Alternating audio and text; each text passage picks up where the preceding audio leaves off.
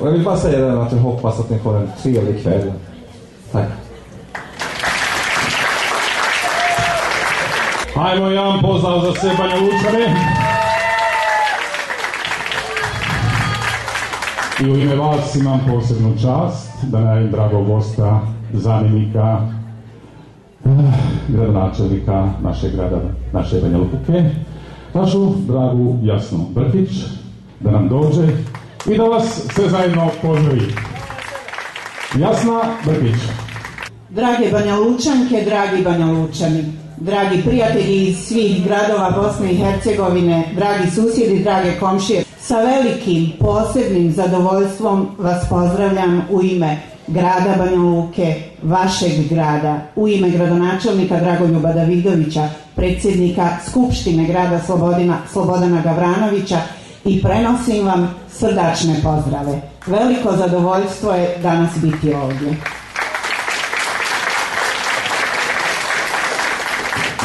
Naravno, poseban, poseban pozdrav dragim zeničanima, ovim lijepim e, mladim momcima i djevojkama za koje znam da će učiniti ovo druženje Banja Lučana posebno.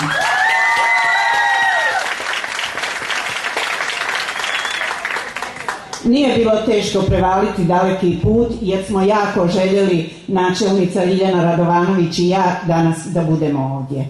Znam da nas sve vezuje zajednička pozitivna energija, ljubav prema našem gradu. Bilo je i bit će tako. Vaša Banja Luka uvijek otvorena srca vas čeka. Znam da mnogi od vas svake godine bar neko vrijeme provedu u najljepšem gradu na svijetu. Gradu koji se u zadnjih 20 godina mnogo promijenio na bolje i u buduće će biti tako.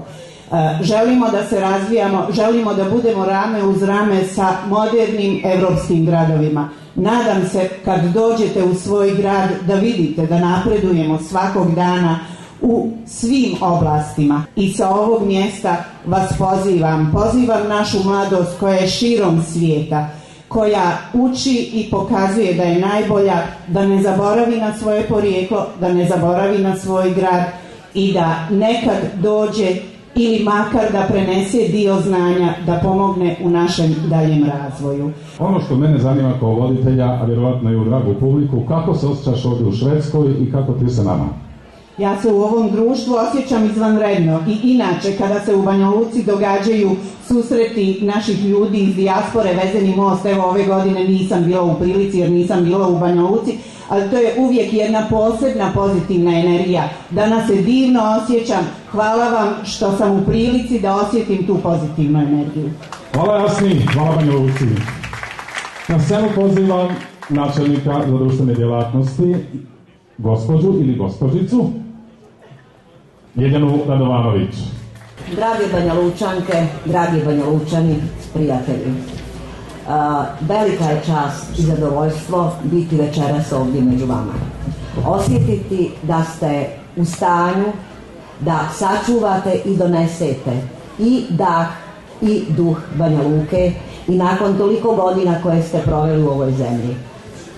Lijepo je vidjeti da se naši ljudi ne mijenjaju, Lijepo je vidjeti da prihvataju i uče ono što je novo, ono što je pozitivno, ali da svoje korijene, svoju tradiciju njeguju i prenose na svoju djecu.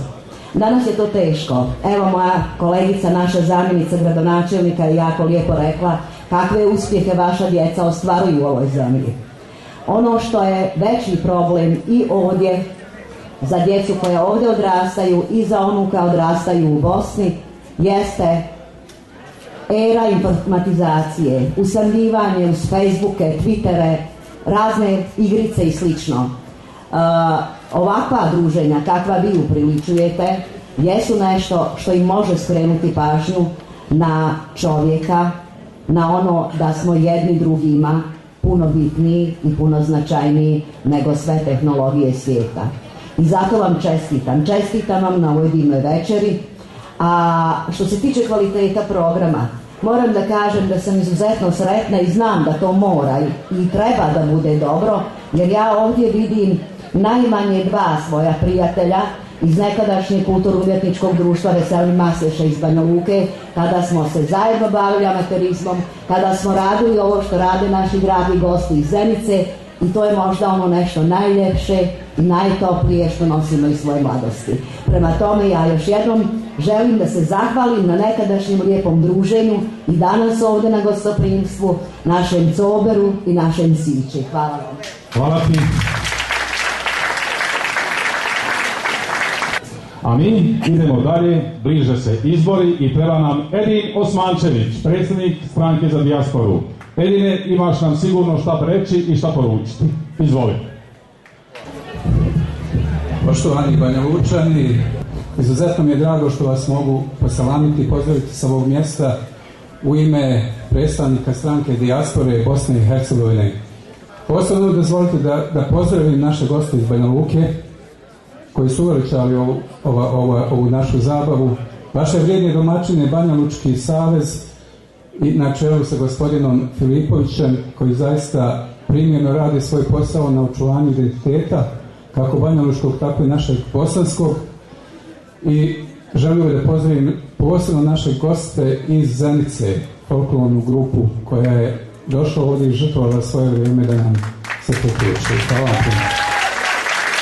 Tokom svih ovih 18 godina, polako, spontano, tiho i mirno, rađala se Bosna i Hercegovina na ovim prostorima. Jedno od najstarijih udruženja u Švedskoj upravo nosi to ime. Udruženje Bosna i Hercegovina Noršefin.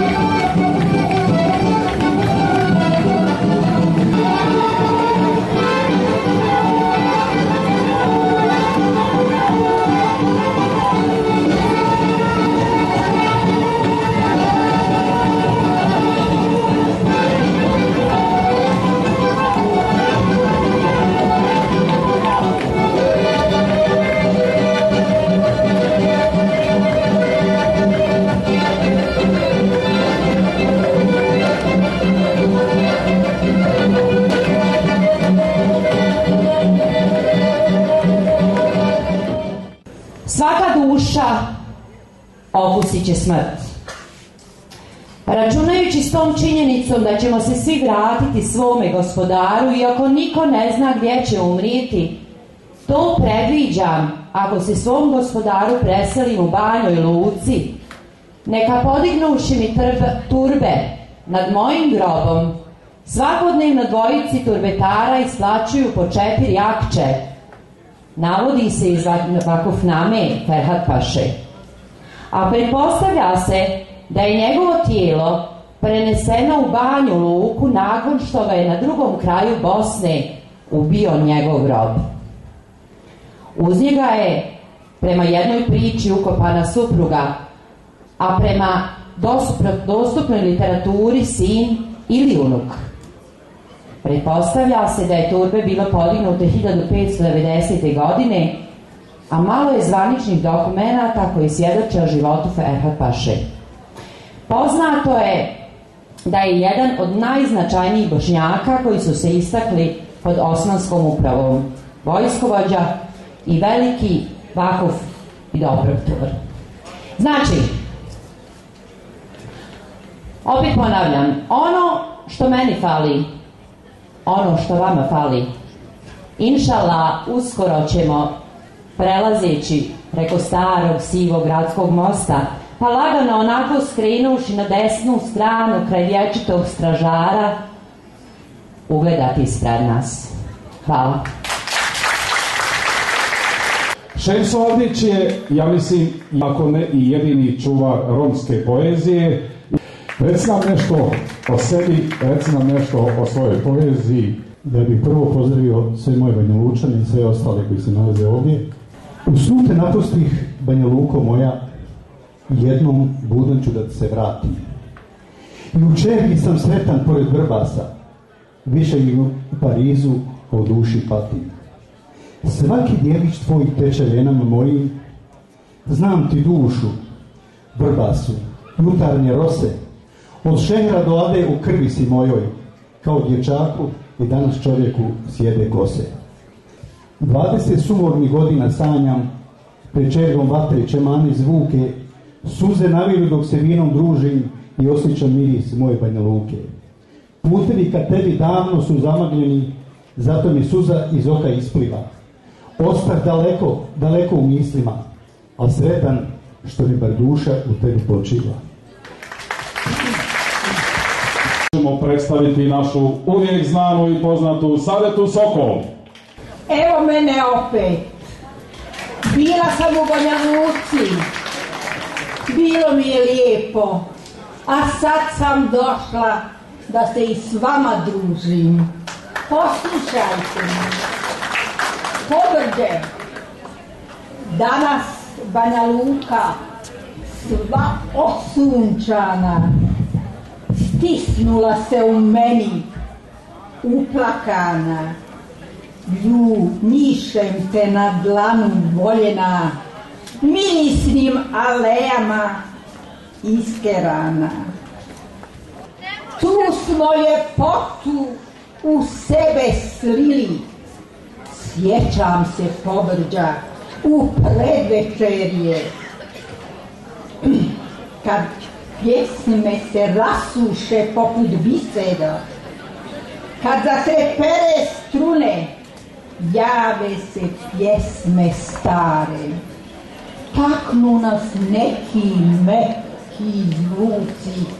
I svi smo opet u Banja Luci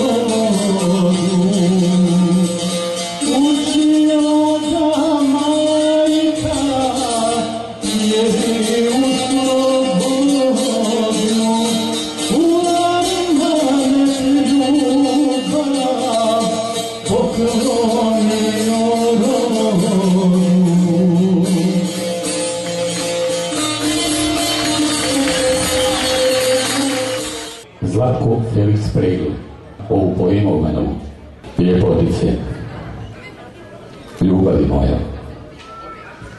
Evo mi danas kako nakon stotinu godina dolazim tebi u pohode, u Ašikuk, s podarkom. Evo me nakon duga vremena da te ponovo vidim u sebi duboko zapamćeno. Evo, gdje govorim o želji nova dodira miljena moja, i stretim od duga čekanja ljudske nemoći, evo me gdje drtim zbog skorog viđenja kao nekad, dok se me krila u svojim tajnama, dah mi zastaje. Evo, od vlaga straha i dječja nespokoja, ti, što mi dočekuješ tako tužna i nemirna ljepotice moja? Što si baš danas u ovo svećeno jutro odjevena u vizantijsko plavo? Pa gdje su ti one tvoje haljinke od lišća i likova cvijeta kestenove boje? Koji te je to nadrdio ljepotu, ljepoto moja?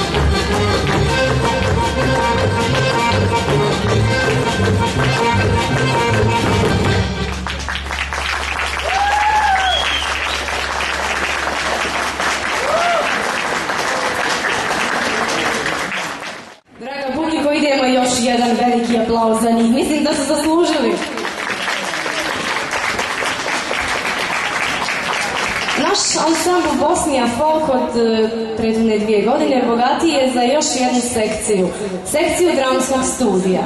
Danas će vam se predstaviti Amina Dizarević i Jasmin Mojzinović, pozivam ih na scenu, a oni će malo prošikovati kao bi vaktila ona stara lijepa vremena. On je Ahma, ona Fata, pa da vidimo što nam što imaju poručiti ovom svom ašiku. Uživajte. Fato, Bona, hajde bola, naziv. Neka bola, našla sam da grabije. Ma put se grabije, opet kradeš, hajde. Ma ne bola, njoj jeste mali. Hajde, Bona, hajde. Uf, to bejaraš. Pa da su... Ja, ima tu, ima. Tars. E, znaš, bola, šta sam vidjela? Šta, Bona, kaži? Koju bola? Ma kaškuju. Da. O, hajde, kaži, ja mi Pa smo. koga mi ne bi ni vjerovao. Ma kako ti neću vjerovat, znaš da tebi svoje ovo sve vjeruje. Ma onaj Mustafi bola. O koji Bona ima i petorci? Pa haj zna kad ima petorci. A, s kim Bonaš? He, pa to on bola tek ne vjeruje. To, bejar, hajde Bona, kaži. A ma kad ti kažem, ne bi mi vjerovao. Ma hoću Bona, amo tebi sve vjeruje. Pa sam loše digla.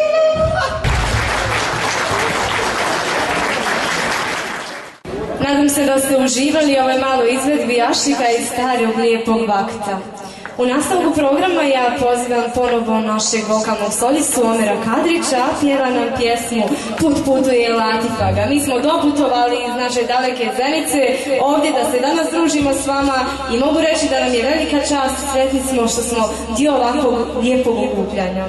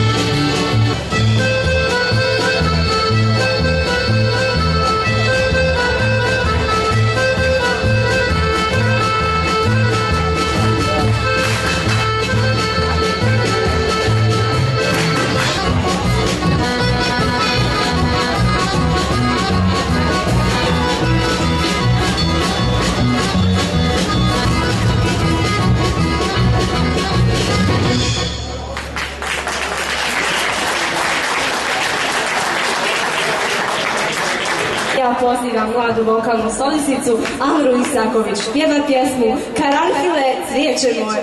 Svakoj reči je cvijeće i Amra ima svoje.